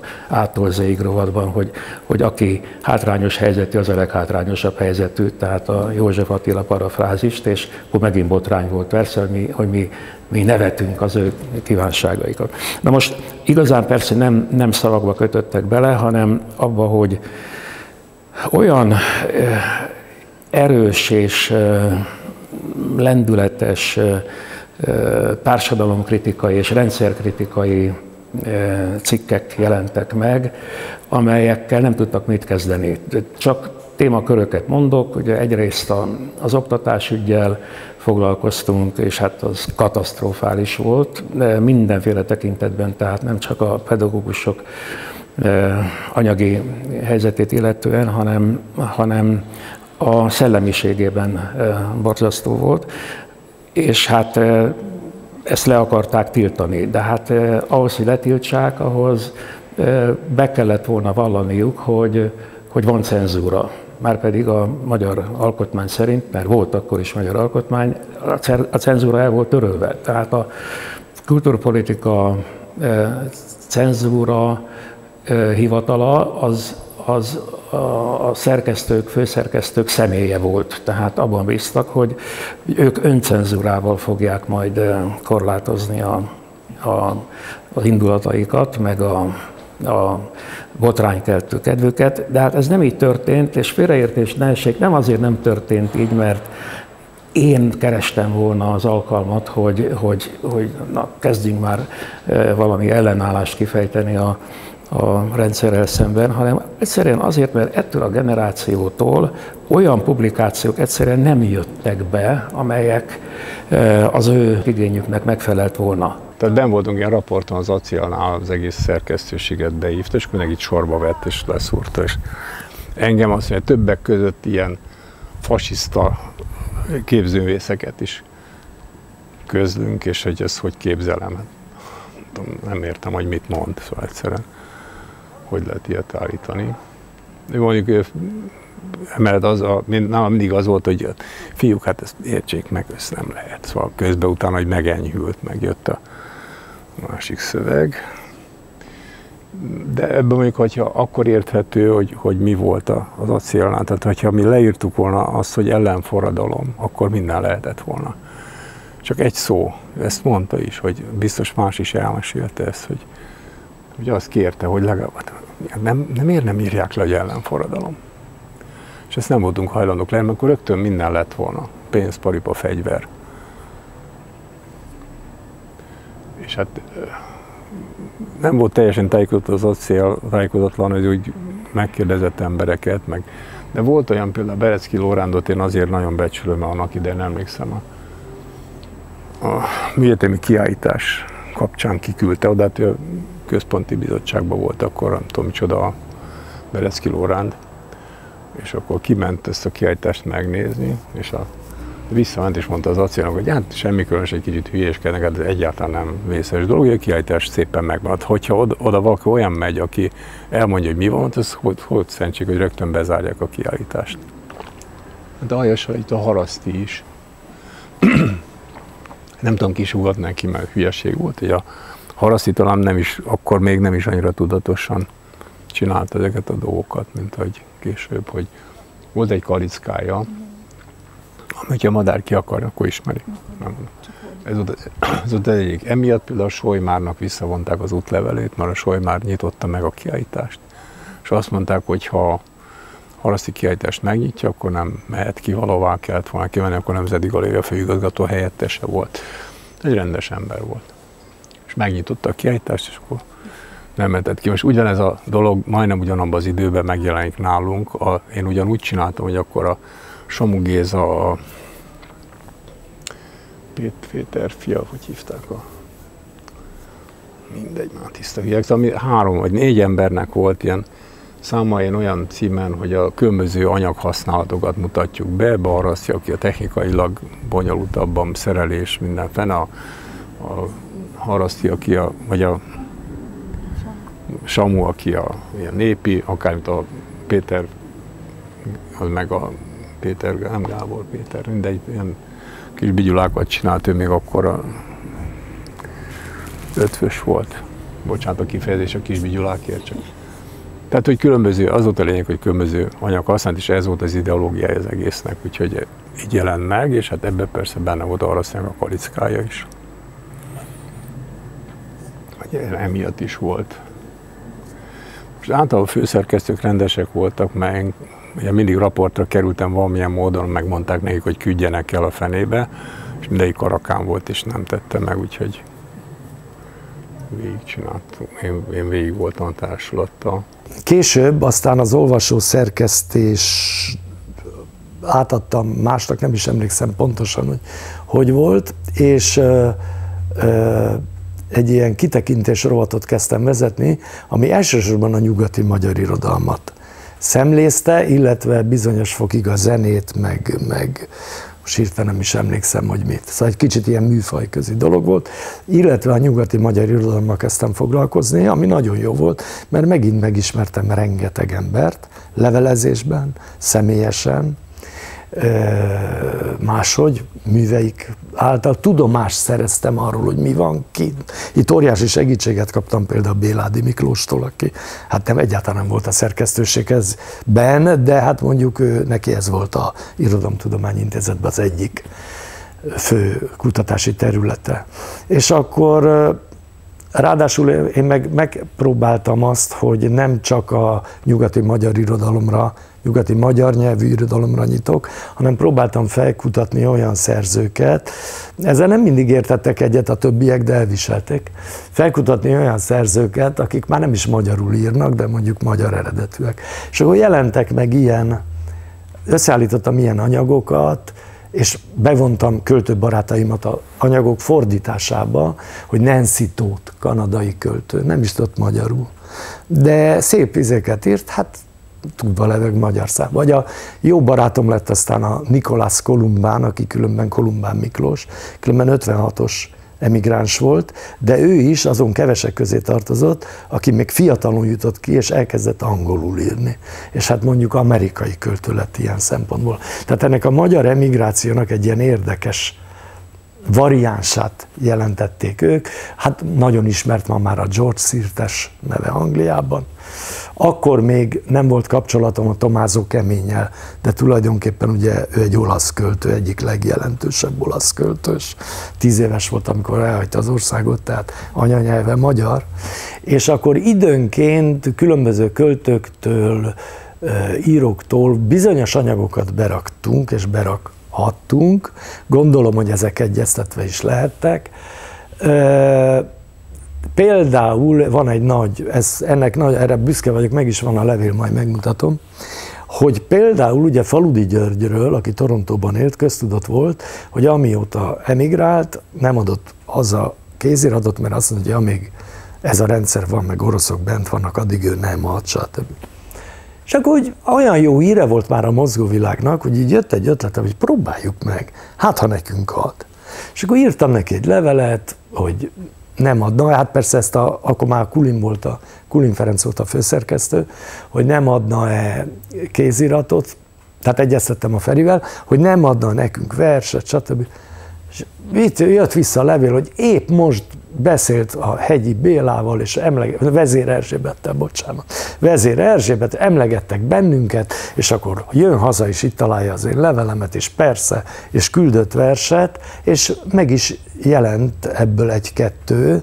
Ezek nyilván mind egyeztetés, főszerkesztői egyeztetés tárgyai voltak, egész biztos vagyok benne, de még ez is megjelenhetett. Tehát azt tudom mondani, hogy tulajdonképpen a Faludi György első hazai magyar tehát közlése az emigrációja után nálunk történt. Tehát ez is csak egy ilyen érdekes, hát meglehetősen érdekes, fontos irodalomtörténeti tény. Mésző Miklós, ami nagy ö, ö, emberünk volt, nekem személy szerint is szinte ö, apai vagy acsai barátom, lehet így mondanom, amikor meghalt, de hogy amikor meghalt, 70 éves volt, ura, de hogy is hol volt még meg, az külön történet, 70 éves volt, akkor, a, akkor Szörnyi Lászlóval csináltunk egy emlékkönyvet, az elkezdhettünk, elképesztő ma már, ki mindenki volt egymás mellett. Szóval bámulatos az, az a, mi az a nyitottság, hogy mindenki, mindenki ott volt. Tehát én most a Gönc Árpát hadd ne soroljam fel a neveket, mindenki szerepelt benne, idősek, fiatal. Ő valóban egy karizmatikus személyiség volt.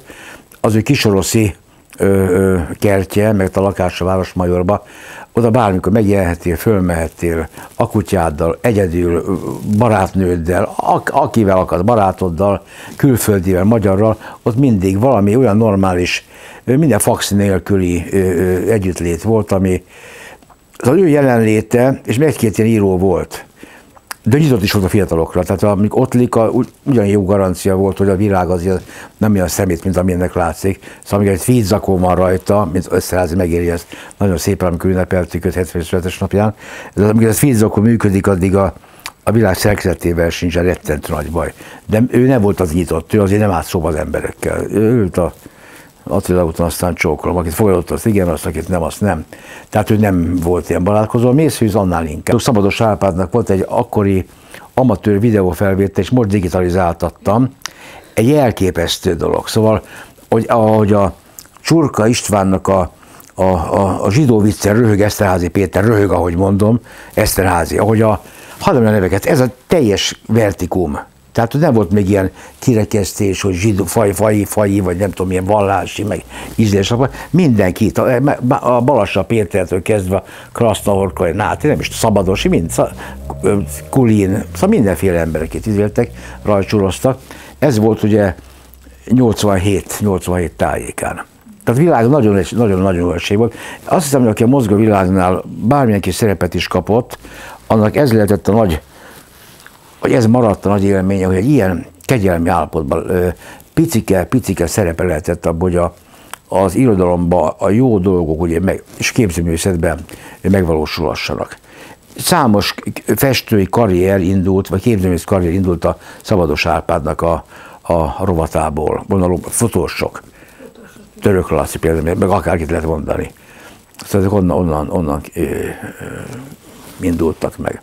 Ami ugye hát együtt járt azzal is nyilvánvalóan, hogy ennek a volt egy hivatalos része, mondjuk így ez a mozgóba szerkesztősége, ami nem volt hivatal, az egy ilyen betérő csárda volt, mint a, tényleg, mint a beestek az emberek. Ha kirúgták valakit Romániából, akkor egy szál nylon szatyorral, pungával, mondták a románok, ugye beestek, hogy, hogy keresd neki albérletet. Ha mit tudom én, a ö, ö, Hajnóci Péternek éppen valami pia ügye volt, csak mindig az volt, akkor a bezudult, csak akkor tejáté volt. Vagy mit, nem tudom elmondani, csupa ilyen privát dolgok, de ugye ez a, a műegyetemnek az utcájában van ez a szerkesztő, volt a szerkesztőség, hát akik mentek el is egyetemre, órá, beszimmatoltak a fiatal fiúcskák, és akkor nincs egy példány, meg hogy, hogy látták bejönni az ajtón, nem tudom kicsodát, csak, akkor, csak hadd szorítsák meg. Szóval ilyen, ilyen nyitott ilyen kis izé volt, ilyen földszintes valami, és aztán Na hát szóval ilyen kis a privát része is, mondom, családi körökben is voltunk, oda-vissza komaságok, foci, születésnapok, szilveszterek, elképesztő, több száz fős szinte bulik voltak, elmutatatlan, milyen, milyen kastélyokat béreltünk, kastélyokat, mihez, szóval valami tébolyítóan jó dolog volt. Itt még azt tenném hozzá, hogyha magamról egy szót mondatok még a szerkesztői fölfogásról, hogy én úgy gondolom, hogyha egy szerkesztő letette a voksot valaki mellett személyesen, és utána az illető egy olyan, olyan újabb szövegben olyat produkál, ami a nagyon nem tetszik. Én akkor hajlamos vagyok arra, hogy akkor is közöljük azt, mert ő viszi a vására bőrét. Lehet, hogy én nem értem, lehet, hogy ő már másúton, másútra lépett, mert nem csak megbotlott, de akkor is a mi kutyán kölke, a, ha el, nem botrányosan vacak, meg adtam vissza dolgokat, legjobb barátaim, és apa, hagyjál már, ezekkel hülyeség, mennyi, mennyi a dolgok. Ilyenek voltak persze, de, de van, amikor, amikor ö, ö, többnyire én nagyon-nagyon bíztam abban, hogy a, ez is nem tetszik, majd vagy kifutja magát, vagy, vagy, vagy felejtsük el. De, de férjen be. Hát nem robot rendszerbe szerkesztődött a mozgóvilág.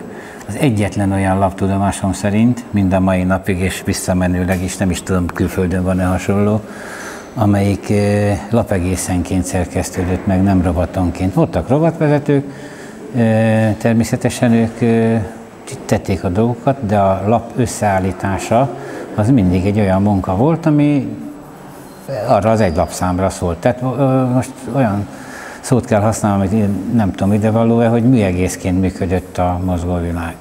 Tehát volt, hogy verssel kezdődött, de volt, hogy levéllel, volt, hogy hagyományosan verssel nem szabad befejezni szép irodalmi lapot, mert ott a kritikának, meg a recenziónak, meg nem tudom minek van a helye, de nálunk például a, nem egyszer fordult elő, hogy versel fejeződött be. Volt, hogy a kritika volt a fő hangsúlyos az egész számban. Tehát ilyen nem kifejezetten tematikus szerkesztés volt, mert azért ez egy folyamatosan gyarapodó a levelezésekből, a személyes kapcsolatokból folyton változó anyag volt, de, de voltak csomó pontok, és akkor ha ezekkel, ha találtunk egy ilyet, akkor általában köréje próbáltuk rakni a többit. És ilyen értelemben mindegy voltak éppen, hogy a, mondjuk versről beszéljünk, hogy az mondjuk a, az egyharmadnyi neki járó térhelyet csak 20%-ot kapott, ha mondjuk vele kezdődött, vagy ha például pont olyan helyre került, olyan súlyt kapott ez a vers, akkor senki nem foglalkozott vele, hogy, hogy az arányok hogy vannak. Soha nem volt vita. Tehát ez egy olyan társaság volt, ahol vita mindig volt, mert értékekről alapvetően, meg főleg arról, amire én nem akarok kitérni, hogy a hatalomhoz való viszonyunkban mennyire legyünk ilyenek, olyanok, amolyanok, taktikusak, kevésbé taktikusak, nem tudom, ilyenek, ilyen viták voltak, értékviták is voltak, de, de ezek, ezek vagy fotballba végződtek, vagy valakinek a lakásán. Tehát ez egy, ez egy, ez egy alkotóközösség volt ez a lényeg. Ez a, ez a pár ember, akkor is, hogyha cserélődött közben. Ugye Mészáros Tamást a annak idején kirúgta, ő volt a színházkritika, az botrány volt, aztán a Margócsi is elment, mint versrovat vezető, mert aztán visszaért később a Kurin idején, tehát voltak cserék is, meg minden, de de se a szerkesztésen, sem pedig semmilyen értelemben nem látott azt, hogy, egy, hogy ez egy kényszerközösség volna. A, a mozgó világ ugye nem számizdat, de azért egy ellenzéki lapnak számított, vagy olyan írások jelentek meg, vagy olyan e, emberek e, írtak az újságban, akik nem mondhatni, hogy a rendszer kegyeltjei voltak és ettől érdekes volt. 1980-ban ugye megjelent ez a Boldog Emberek sorozatban Segédszínész című írás, hogy eh, hogy kerestem akkor meg, és hogyan jött ez a riport? Hát nem tudom, mert erről nem eh, beszélgettük, megkeresett. Én feltételezem, hogy a Szolnok megyei lapnál ő, ő neki volt bejárása, vagy írt ott, és én engem mielőtt felvettek a Szolnoki Színházhoz a Költövis nevű amatőr együttesnek voltam a tagja, akik közül Petra Katalina ö, szerkesztőségben dolgozott, és nem tudom, talán hallotta, hogy felvettek egy nagyon róráncos szépnek nem mondható fiatal embert a színházba, és a Lajos akkor már ezt elkezdte, ezt a boldog ember sorozatot. Tudom, azt hiszem, hogy közvetlenül előtte, vagy párhuzamosan csinálta azzal a hölgyel, aki nővér lett, ha jól emlékszem, vagy volt egy ilyen, vagy van. Azt hiszem kórházba helyezkedett el, vagy okay, és akkor jó néhányszor leültünk, találkoztunk, és utána a Lajossal és nagyon sokáig kapcsolatban maradtunk. És ezeket a karaktereket kitaláltak ki, meg ugye a Hát de beszélgettünk, hogy mi legyen ennek a módja, vagy hogyan nézzen ki. Nem, nem emlékszem kristálytisztán, hogy melyik ötlet volt az övé, és melyik az enyém. Szerintem közösen, hogy beszélgettünk, akkor jöttek ezek az ötletek. És akkor a, a beöltözés, meg ezek a fotózás? Hát akkor azt, azt külön megcsináltuk. Én szerintem volt egy fotó, abból jött az ötlet, talán ez a fotó, ez meg volt, ami a bakancsos, és ennek a apropójából jött. Azt hiszem, vagy most ezt mondom. És akkor a többi embert, akit megkeresett, ahhoz semmi kapcsolata nem volt? Vagy nem, nem, nem, nem, semmi. És akkor a mozgóban mondta, hogy még volt akkor a környékben Hát ő vele álltunk kapcsolatban, találkoztunk időnként, meg eh, Karcagon neki volt háza, és ott voltak összejövetelek, és voltam talán kétszer-háromszor, de szolnokon többször találkoztunk. Nem, nem, nem, nem, igen, igen. És olvasta a lapot? Hát akkoriban, de most már nem olvasok semmit. Beszorultam a, csak a színház és a film, ezzel nem dicsekszem, ez tény. Tehát most már egy klasszikus szak, szakbarbárként lehet mutatni.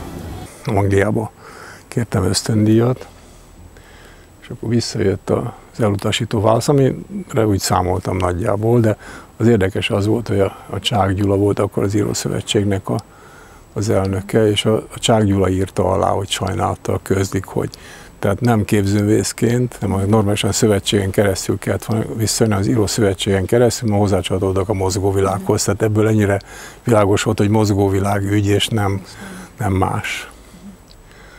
Úgyhogy egy csomó olyan dolog volt, de amit mondom, hogy sajnos a, a tájékozódás az nem volt egyszerű. Nekem volt egy elvem, amit próbáltam ott érvényesíteni, hogy ugye sok minden nem, nem jött be hozzánk, ezért volt egy szakköröm is Újpesten, ott is próbáltam olyan feladatokat adni, ami kortárs, akkori kortárs művészeti probléma volt. A Derkovics klubban volt ki Újpesten, mondjuk poppártot nem lehetett látni, akkor kértem, hogy mindenki csinálja meg a saját figuráját, és ezt beállították, a, építgették egy hónapig a saját figurájukat. Az egyik fiú a filmgyárban dolgozott maszkokat, Romvári Jancsi a maszkokat szivatott le, és, és a maszkok miatt volt egy ilyen panoptikum jellege, de mindenki a saját ruháját öltötte rá, úgyhogy én korábban kimentem oda a szakkörbe, ott normálisan féltaktot is rajzoltak, tehát készültek a főiskolára.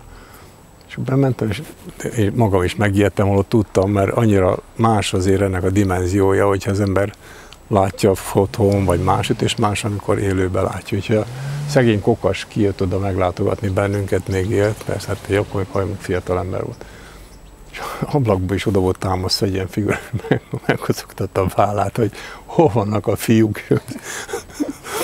szegény kim voltunk az udvaron, úgyhogy de hogy még őt is így átverte a dolog. Most ez egy anekdotázok, de a lényege az volt, hogy, hogy ezek után nyilván több affinitásuk volt egy ilyen dologhoz, hogy mi az, hogy popárt, vagy, vagy mit jelent egy ilyen panoptikumszerűen megfogalmazott figura. De, de mondom, hogy ez bennem volt, ez a fajta dolog, hogy, hogy jó lenne behozni dolgokat, és hát nem nagyon lehetett más mint azokat részben, akik Magyarországon, akikre Magyarországon hatottak, még sokszor bevallom, hogy utólag is, meg akkor is tudtam, hogy volt, ami utánlövés volt, tehát kint már régesség megtörténtek, és esetleg magasabb színvonalon dolgok, de, de hogy nem volt róla információnk, azért fontosnak tartottam, hogy, hogy bekerüljünk. Úgyhogy volt, amit utólag tudom, hogy amikor abban maradt a szerkesztés, kirúgtak bennünket, vagy nem tudom, már nem egészen így volt, de mindegy akkor hogy fölélegeztem, hogy Uram Isten, most újra utálhatok és szerethetek egy-egy kortársamat, mármint a műveit, nem a szemét, mert addig ezeket teljesen félre kellett tennem, hogy most szimpatikus számomra vagy sem a, a személy, vagy, a, mert vagy amit csinál a személy, az más kérdés. Úgyhogy részben ebből adódott, ez volt benne egy tudatosság is, az egy más kérdés, hogy mihez lehetett hozzájutni. És mi volt, amit például meg lehetett íratni, mert az sem mindig volt rá alkalmas ember. Szóval látszólag és az, ott, ott nem is a képzőművészetben látszott nagyon, hanem hát mindig vers az mindig ennyi volt, mint minden szerkesztőségben. Próza az, az limitáltabb, de abból is bőven lehetett válogatni. Szociográfiát és egyebeket azt már inkább kérni kellett. És a képzőművészeti írásoknak is egy nagy részét kérni kellett. Olyanok voltak, hogy a haverjáról akar írni, vagy, vagy hát ilyen hozsannákat, vagy ilyen dühöngő becsmérlő kritikát, vagy valamit előfordult. Csak ezeket könnyű volt visszanőni, kértem, hogy, hogy értelmezzen, nem, nem abból ki fog derülni, hogy milyen, ne, meg, nem kell itt válteszkedni, hogy emlékszem, szegény Somogy Józsefnek neki esett egy ma is működő művészet történet, és mondta meg, hogy én is rossznak tartom Bartók szobrát, de ettől még nem kell, nem kell neki esni, és ilyen módon beszélni rólam, írd le rendesen, értelmez, hogy mi, mi, miért érzed ezt, akár avitnak, vagy, vagy más problémád van vele, de ezt nem lehet közölni. Szóval ez sértő egy, egy tényleg komoly embernek a, az egész életművét megsérteni, ez nincsen értelme. Tehát ez aztán ugye elterjedt, úgyhogy nem tudom, hogy mivel találkozott, de szerintem nincs a mozgóban olyan írás, ami, ami bármilyen módon pozitív vagy negatív irányban túlságosan csak ilyen értelmezés nélküli hozsanna lenne, vagy, vagy, vagy esetleg éppen valakinek a szidása és lehúzása. Az egész fotós generációt azt úgy nagyjából bemutattuk, az akkori, hát most már a balláék, meg nem tudom, Szerencsés Jánostól kezdve, Isten tudja, hogy mind ma már egyáltalán nem fiatalok, sőt van, aki meg is halt közülük. Az, az koncepciózus volt, igen, hogy Hámos Gusztáv, vagy nem tudom, szóval és ahhoz, ahhoz hát részben kaptam segítséget, részben nem. Meg el is mentem ezekhez az emberekhez általában, vagy ismertem őket, vagy csak egyszerűen írtam nekik, mert akkor még a telefon is néha nehézkes volt. Nekem se volt a lakásomban telefonom. Tehát szörnyű volt, tele volt ragaszgatva a postaláda, olyan távirat hogy táviratom érkezett, és ilyen vastag volt a postaládámtől, hogy hív, és akkor mindig az volt, hogy hívjam vissza, és Józsefvárosba raktam, ott mindent belenyomtak a telefonfülkének, a, úgyhogy sokszor az volt a telefon, azt se tudtam, tehát szörnyű. Szörnyű volt úgy lapot csinálni, mert nem a, mert nem nehezen lehetett. Most mindenek ellenére azért valamennyire talán sikerült. Minden labnak igazából megvan a maga a kultúrája, írás kultúrája, ha úgy tetszik, hogy milyen módon nyúlnak valamihez hosszabb, rövidebb, ilyen olyan, tehát nem lehet nyilván egy, egy újságírói cikket egy jellemző művészettörténészi, vagy más egy cikk mellé rakni, de az nem jó, hogyha egy keveredik a labba. Most óhatatlanul ezek a különböző embereknél azt elég nehéz volt megértetni velük, hogy, hogy bizonyos dolgokat be kéne tartani, vagy lehet, hogy le kell mondani valamiről, vagy esetleg más színvonalon kéne hozzányúlni. Tehát ezekből voltak kisebb konfliktusok. Sokszor is előfordult, hogy, hogy egyikkel másikkal leültem, és ami kínos, ugye nem volt, aki tudom, magyar szakot végzett, meg, meg művészettörténet, én meg egy képzővész voltam, és akkor próbáltam mondani, hogy nem, hogy egyszerűen azt akarod mondani, hogy, és akkor mondja, hogy igen, de akkor miért nem azt írod le. Úgyhogy sokszor tényleg így kellett egy-egy cikket végigbeszélni, és akkor lassan hogy kialakult, hogy egy-két ember az már úgy nagyjából azt a... Meg hát volt, aki persze magától fehér ember volt, úgyhogy nem feltétlenül, meg, meg, meg akik ezt esetleg más szándékkal másképpen csinálták, ők sem tehettek róla szóval. Tartható volt 83 augusztusáig, amikor is nyomdába adtuk azt a számot, amelyik Bíbó Istvánnak az Európai Társadalomfejlődés Értelme című Magnóban mondott előadását tanulmányformában adta le. Na most ez a tanulmány, ami aztán később megjelent a, a Bíbó összes művei negyedik kötetében, ez a tanulmány kategórikusan megbírálta, filozófiai érvekkel megbírálta a marxizmust, úgy, ahogy van. Na most éreztük, hogy itt ebből már nagyobb balé lesz, úgy is lett, acél megint hív, és azt mondja, hogy ezt, ne, ezt már nem lehet, nem lehet. Szóval, e, ha gazdasági érdekekről van szó, ha pedagógiai problémákról, hogyha határon téli magyarokról, akkor azt, azt lehet úgy kezelni, mint, mint egy egy tagállamnak, tehát szocialista államnak a, a renitenskedését, de, de azt, hogy a, az egész tábornak az ideológiai alapját támadjuk meg, azt már nem lehet. Tehát gondolja meg, vonja vissza. Acéleftárs nem vonhatom vissza, mert az azt jelenteni, hogy cenzúra van. Én leadtam a számot. Mindig ezzel jön, mindig ezzel jön, hogy azt jelenteni. Miért nem lehet azt mondani, hogy magam meggondolta magát? Mondom, én nem gondoltam meg magam. Hát akkor viszont találjon ki valamit, mert akkor valamivel puhítani kell. Szervezze meg egy marxista akadémikusok által lebonyolított kerekasztal beszélgetést erről a tanulmányról. Ők elmondják a véleményüket arról, hogy hogyan gondolkodnak Bíborról, és akkor együtt jelenje meg a kettő. Acél Györgyöt itt érte a másik nagy ütés a saját tábora részéről. Tudnék, Szabad Györgyöt, Némegét Bélát és Ágatillát kértük föl. Tényleg mind a, mind a hárman hát marxista tudósoknak számítottak és akadémikusoknak számítottak. Magnóra vettük, leírtuk, betettem megint a, a szám kiegészítéseként leadtam a nyomdába. Természetesen ők mint máskor is mindig hozzájutottak a nyomdába leadott szövegekhez, és behív azt mondja, hogy na ezt így sem lehet, ezt így sem lehet, mert hogy, hogy hát tudomásul kell vennünk, mármint nekik, hogy hogy, hogy Bibó Istvánt nem lehet leárnyékolni. Tehát nem lehet olyan szöveget mondani, ami, ami felettetni az olvasóval, hogy Bibónak van igaza, már csak azért sem, mert mind a hárman dicsérték Bibó Istvánt, ezt hozzáteszem.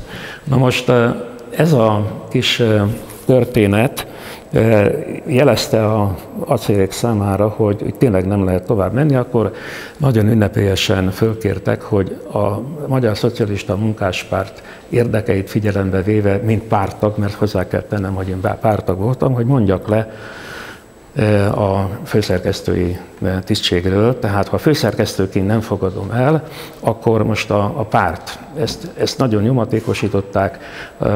Óvári Miklós külön behívott, aki ugye a, a párt ideológiai kérdésekben elhajló tagjait regulázta, és ő, ő is felszólított, hogy, hogy, hogy, hogy mondjak le. Ezek után sem mondtam le, és tudtam, hogy persze menni kell, csak megvártuk, hogy, hogy akkor lesznek-e olyan bátrak, hogy azt mondják, hogy ez így nem mehet tovább, és nem azt mondják, hogy hát meg tudtuk győzni az ifjakat. Hát nem tudtak meggyőzni bennünket. Így történt, hogy, hogy szeptember 16-án megkaptam a elbocsátó szép üzenetet, amit akkor közvetlenül Tóth Dezső miniszter helyettestől vettem át. Ő volt a kulturális, oktatás és kulturális miniszter helyettes. Még az is benne volt a játékban, mert ugye csak nem akartuk feladni, még Kulin után sem, tehát pedig nyilvánvaló volt, hogy ez, csak egy kétségbe esett kísérlet, de hát mi már annyi mindent megpróbáltunk, és annyiszor bejött végül is, hát miért nem megpróbáltuk, hogy esetleg egy, még egy megmaradt, megbízható emberrel, Gergely Andrással, aki, akit ő egyébként a Kulin hozott oda, mint történelmi tehát hogy ő vele, ő vele még valamit lehetne mégis folytatni.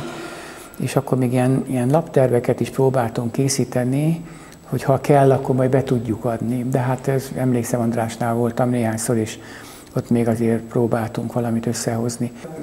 Legálisan semmiképp se lehetett volna folytatni, ők úgy tekintettek ránk, mint akik nem vagyunk oly mértékben vakmerőek, eltökéltek, stb., hogy erre a lépésre elszálljuk munkat. De nekem ilyen tekintetben nincs lelkiismeret fordulásom, mert amit viszont meg lehetett tenni, sőt, mindent, amit nem lehetett megtenni, azt mind megtettük a falon belül. Úgyhogy ha van legendája ennek alapnak, akkor ez a legenda, ez, ez valós alapokon nyugszik, nem mese, hogy, hogy, hogy volt egy pillanat a magyar ö, ö, folyirat történelemnek, ami, amelyben, amelyben létezett valódi diskurzus szerzők között expressis verbis is, másrészt pedig a műhelyben. Rengeteget vitatkoztunk, beszélgettünk. Erkölcsileg egységes volt. Miközben Kulin mondjuk irodalom szemlélete jóval konzervatívabb volt, mint mondjuk a Szkárosi Endréjé. és a Szabados Árpád féle avangár és új avangár képzőművészeti szemlélet messze meghaladta valamennyiünk ízlését, nem is értettünk hozzá. De mi néztük, és, és azt mondtuk, hogy ő, ő ért ehhez, ezt ő csinálja, mi legfeljebb elmondtuk a véleményünket, de soha nem kényszerítettük semmilyen, semmilyen öncenzúrára. Ugyanez vonatkozik Berkovicsra is. Ő, az ő, szociografikus és szociológiai szemlélete megint csak más volt, mint mondjuk Cakói. Két, két külön világ. Soha egyiknek se jutott eszébe a másikat, legfeljebb vitatkoztak. Az egység az, az, az folyiratszerkesztői és, és erkölcsi egység volt, és ez így volt jó. Ettől lett ilyen színes. Na hát aztán, hogy Kocsis Zoli rovatához senki, egyikünk se értett, az is teljesen világos, de hát gondolom nem kell bizonygatni, hogy viszont egy olyan ember állt ott az ő személyében, a rovat élén, aki nem is szorult arra, hogy bármilyen kontroll, kontrollt kelljen gyakorolni.